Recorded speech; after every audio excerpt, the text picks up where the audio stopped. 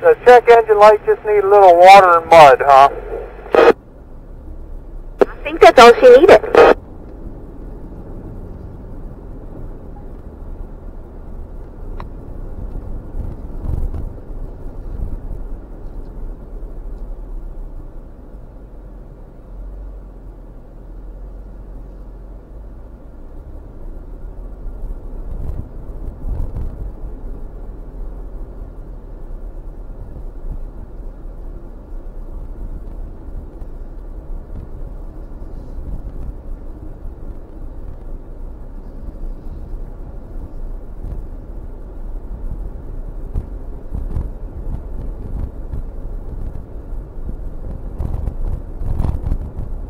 Now we're through it. That little muddy section was kind of fun, wasn't it?